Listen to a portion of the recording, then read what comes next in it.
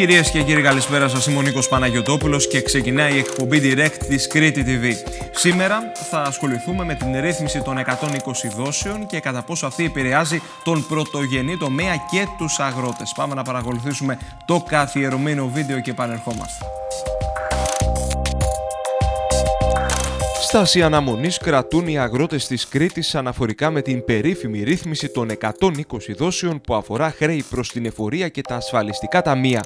Το θολό τοπίο που έχει διαμορφωθεί αναφορικά με τα εισοδηματικά κριτήρια που θα ισχύσουν προκαλεί προβληματισμό, ενώ η ρύθμιση θα αφορά αποκλειστικά χρέη που δημιουργήθηκαν μέχρι και τα τέλη του 2017.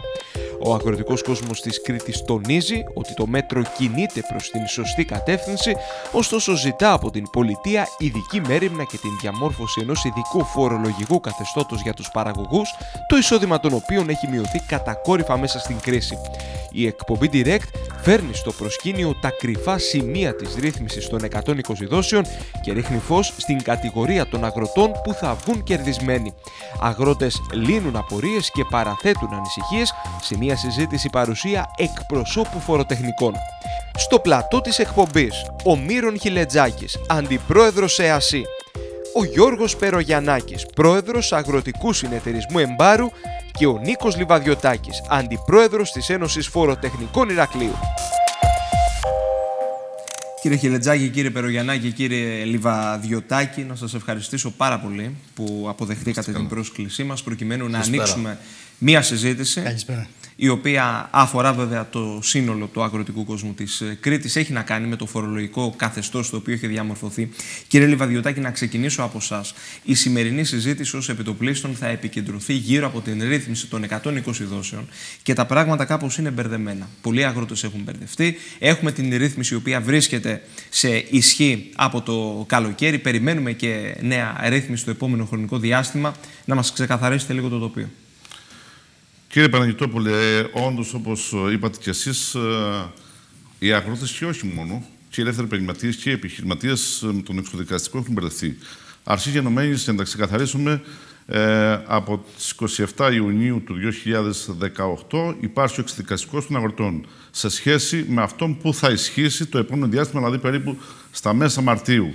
Όσο αφορά το κομμάτι του εξαδικαστικού των αγροτών που πάει μαζί με τους ελεύθερους επαγγελματίες, εκεί τι έχουμε; Έχουμε όντως ο, ποσά που χρωστάνε αγρότες είναι το νούμερο 22.000 που αφοράνε στην πρώην αγροτική και στις ε, ε, κακές εντός παραθέσεως στις τράπεζες, στις προσευμένες, όπως την Πρώτο Μπάνκ και κάποιες άλλες.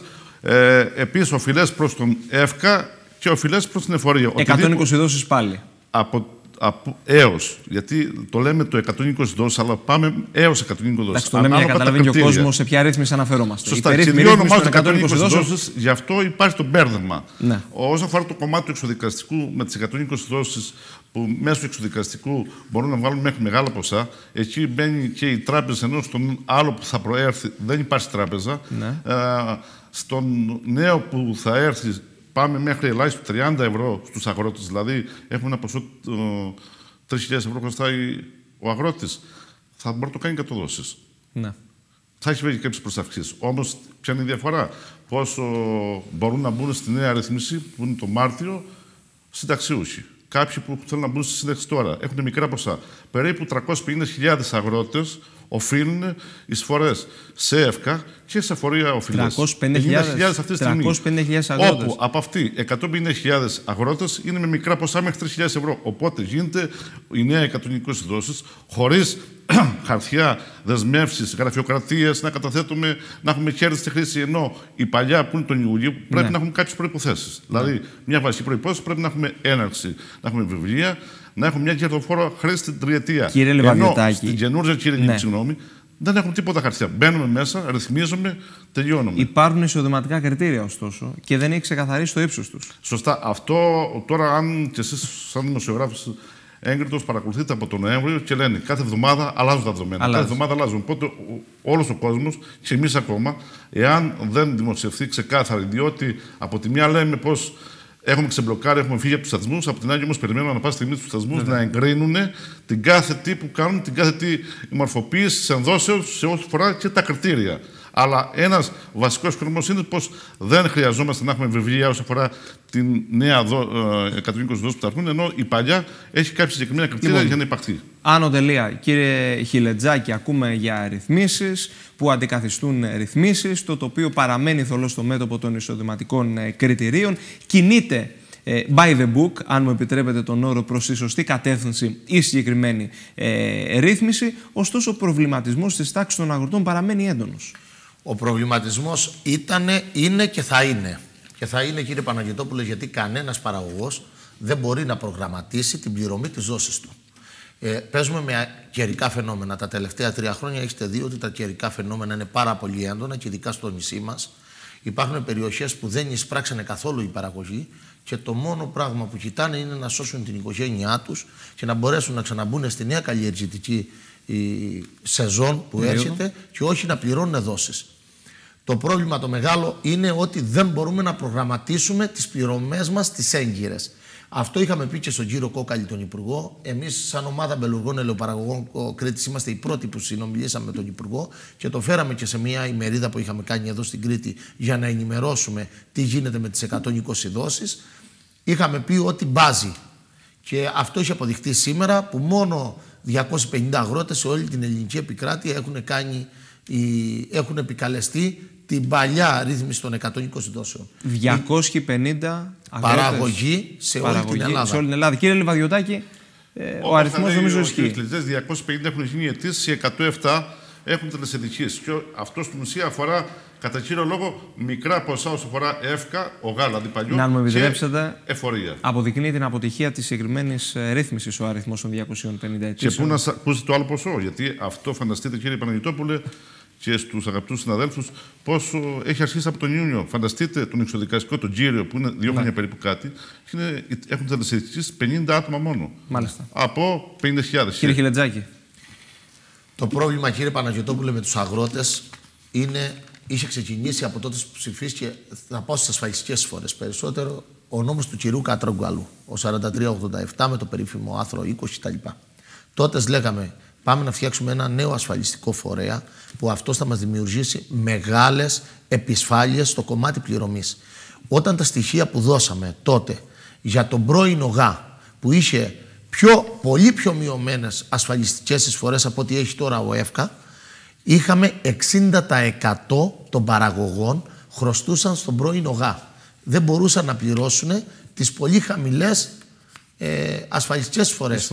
Είναι αυτά που λέγαμε τότε στον κύριο Αποστόλου, τον Υπουργό τότε της Αγροτικής Ανάπτυξης, ότι Υπουργέ, το ασφαλιστικό είναι ένα νέο φορολογικό.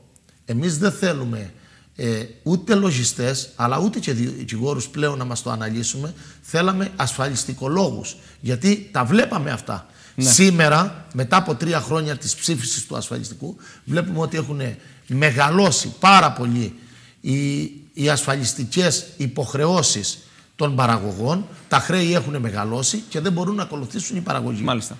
Κύριε Περογιαννάκη, ο κύριος Χιλετζάκης μας είπε το εξής ότι η καθημερινότητα των, των αγροτών, η δύσκολη καθημερινότητα των αγροτών, αν συνυπολογίσουμε και τα ακραία καιρικά φαινόμενα τα οποία πλήττουν τον πρωτογενή τομέα, ειδικά την τελευταία τριετία, δεν επιτρέπουν στους αγρότες, δεν επιτρέπουν στους παραγωγούς να τα απεξέλθουν σε μηνιαίες δόσεις, να τα απεξέλθουν στην καταβολή δόσεων. Συμφωνείτε; Συμφωνούμε. Ο, δεν υπάρχει αγρότης σήμερα να μην χρωστάει. Οι 120 δόσεις για μας είναι λίγες. Πρέπει να βρεθεί μια ενδιάμεση λύση, ειδικά για τους αγρότες, ο αγρότη, όπως είπε ο συνάδελφος ο κ. Σιλατζάκη, βάλετε από παντού, από τσερικά φαινόμενα. Πρέπει λοιπόν ο αγρότη να δει μια άσπρη μέρα. Μάλιστα. Κύριε Λιβαδιωτάκη, είστε ένας έμπειρος ε, φοροτεχνικός, είστε αντιπρόεδρος, είστε αντιπρόεδρος της Ένωσης Φοροτεχνικών σε επίπεδο Ηρακλείου.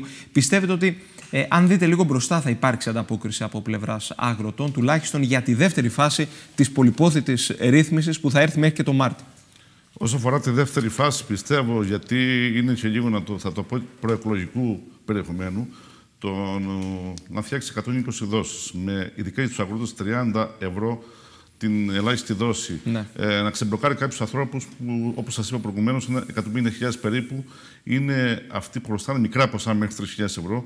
Οπότε πιστεύω σε αυτό το κομμάτι θα τους βοηθήσει να ξεμπλοκάρει κάποιους ειδικά που είναι προ σύνταξη για το κομμάτι αυτό, κάποιους άλλους που έχουν δεσμεύσεις είτε σε λογαριασμούς του οτιδήποτε άλλου, είτε από το ΚΕΑΟ, να τους βγάλει από την αδιέξοδο.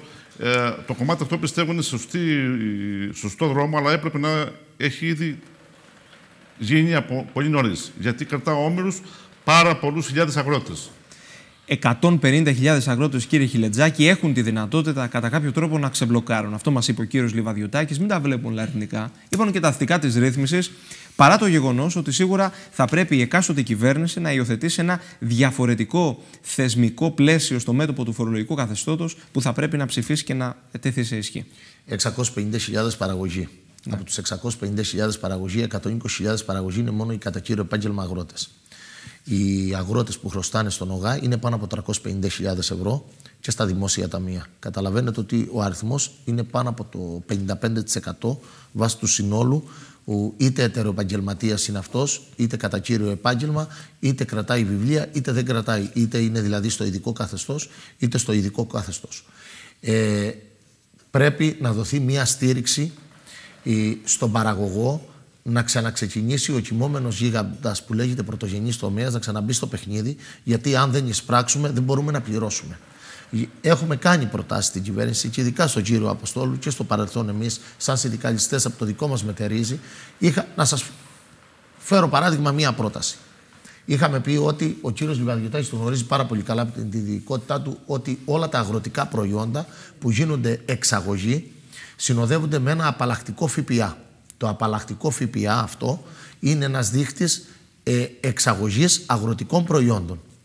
Λέμε στον Υπουργό ότι κύριε Υπουργέ, όλα τα προϊόντα αυτά και ειδικά το λάδι μας που το 80% γίνεται εξαγωγή, ε, τσιπευτικά, επιτραπέζια στα φίλια κτλ. για να μην αφήσω τίποτα απ' έξω, αλλά και κάποια τυροκομικά με ε, χτινοτροφικά, ε, όλα τα αγροτικά προϊόντα που συνοδεύονται με απαλλακτικό ΦΠΑ να έχουν μία φοροελάμφρυση στον παραγωγό για να μπορεί να αυξήσει τα προϊόντα αυτά. Είναι τα προϊόντα που φέρνουν new money, νέο χρήμα στη χώρα μας, το χρήμα που το ζητάει η αγορά, που το χρειάζεται η αγορά και πρέπει να δοθεί ένα φορολογικό κίνητρο να εξάγουμε προϊόντα και να εισάγουμε χρήμα. Υπήρχε θετική ανταπόκριση από την πλευρά του Υπουργείου. Το και του είδε Πρωθυπουργού; θετικά τότε ο κύριος Αποστόλου.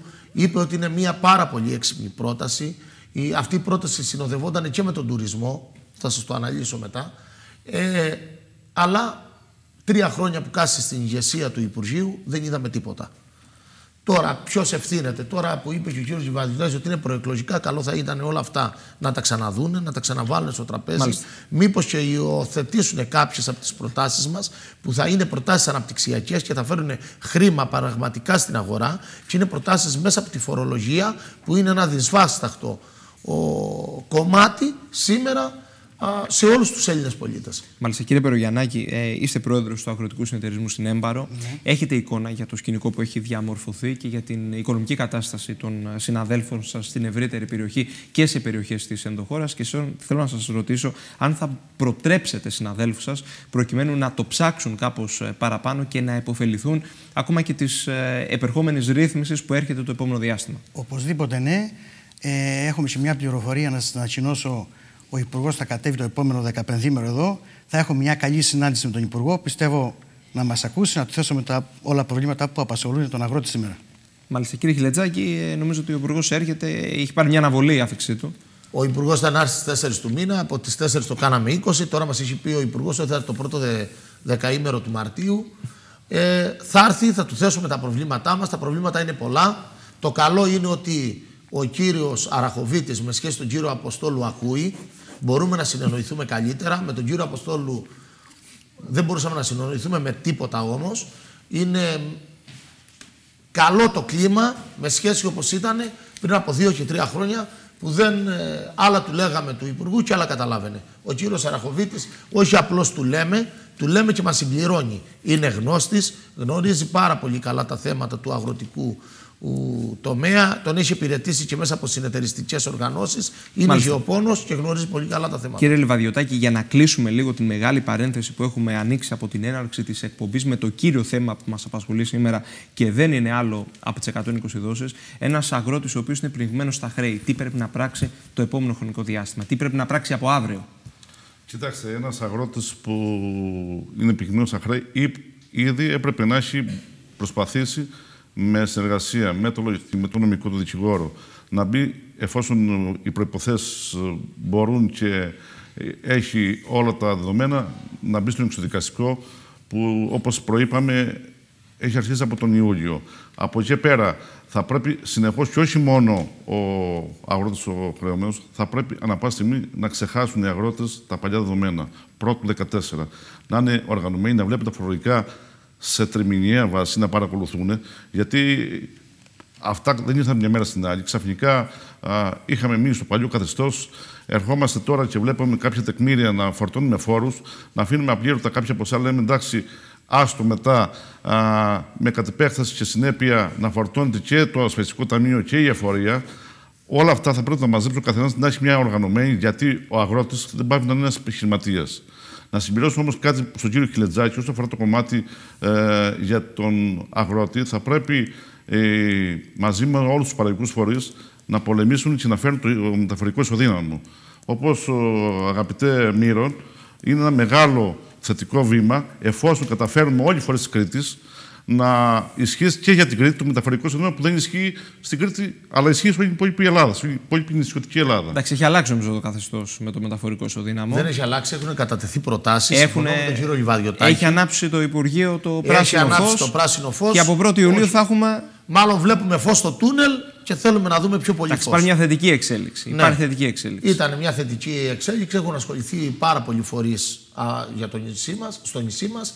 Το μεταφορικό εισοδή, ζύγιο ήταν ένα κόστος περίπου 150 εκατομμύρια ευρώ που αφορούσε την Κρήτη και αφορούσε όλα τα υπόλοιπα νησιά, άλλα 150 εκατομμύρια ευρώ.